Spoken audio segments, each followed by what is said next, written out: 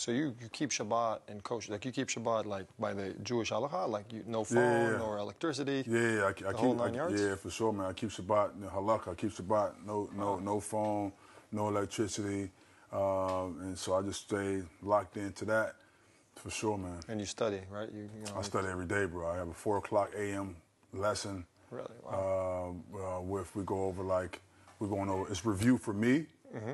but we're going over the laws of Shabbat with the rest of the class, and then I have like a two two p.m. afternoon lesson going over kashrut, just learning how to really kosher your kitchen as far as food, utensils, and so forth.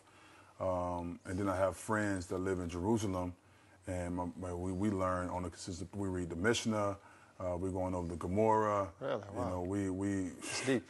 Yeah, yeah, I yeah, love yeah. that. I mean, I, I read Mishnah Gemara sometime, and Yeah, that gets you in there. That's, yeah, for sure, man. It's tough. It's hard for me because it's it's it's it's better to learn with friends. For me, because my my reading in Hebrew is slow at the moment, Mm-hmm. right? So I read very slowly, and then I have to get the translation on what I'm reading. Uh, so it's great to either learn with the rabbi or with friends that can help with that breakdown. And that was what you know got you to come play in Israel. You think? You, like, Yeah, yeah. I mean, yeah. When I came, when I came in Connection. 2010, uh, that connection, that connection got me to play in Israel.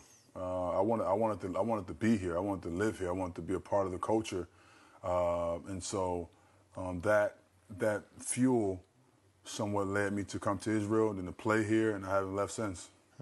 Interesting. And you think, so where where does that put you from a basketball perspective? That just you, you feel like it's just giving you the the, the you know just put you in a different you know maybe atmosphere, baby. maybe maybe just you being more relaxed, more just you know connected to, Yeah, to your I roots. mean, you know what? For me, man, it's a lot of learning when it comes to Judaism, um, and when it comes to like character traits and your middos. Mm-hmm. It helps me. It helps me also too, like to control my anger, uh, control my thoughts, control my speech, control my my- guard my eyes.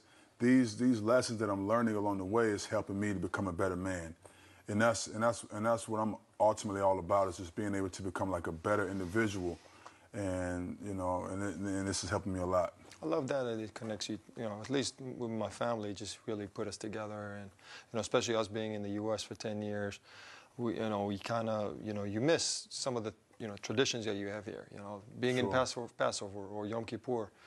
You know, there's situations, you, you know, if you live in Sacramento, for example, you, you don't really feel Yom Kippur. It's just a regular day on the outside. Right. And then when you start doing it, when, you know, you preach it to your kids and you're talking about the history and your wife and you kind of, you know, it Oh, brings it's you together. beautiful. It's beautiful, man. Listen, I, listen. When I was with the Knicks, and I was learning big time, and I, I, I felt a little bit embarrassed to talk to my teammates about it because I felt like Hmm. they wouldn't understand. I felt embarrassed. It's actually you saying it's interesting you saying that. I felt embarrassed when I got to the U.S. that I, I knew nothing about Judaism. Growing here, knew nothing.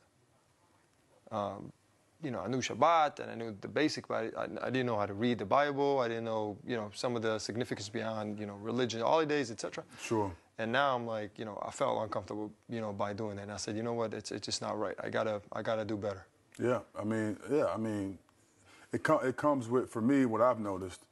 It comes with maturity, right? When I was in my 20s, I was young, wanted to party, wanted to hang out, wanted to just be a rock star.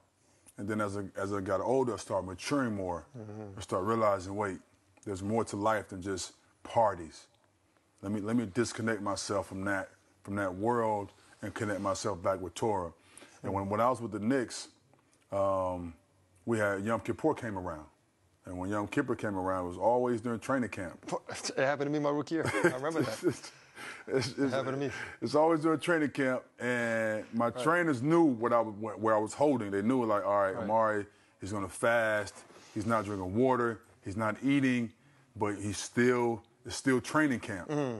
And training camp is the hardest time of the year for us because we got to do a lot of sprints, Right. weight training, Right. more sprints, like overdose of like sprints and cardio. And so my training, my trainer would stand beside me every time and just watch me see if I faint. I remember that, and my, my teammates were looking at me like, "What is this guy doing?" You know. But I- every year, Yom Kippur came around, training camp. I would I would run my sprints, and the trainers would just be right there, watching me, so that so to prevent me from fainting. That's funny. It's crazy.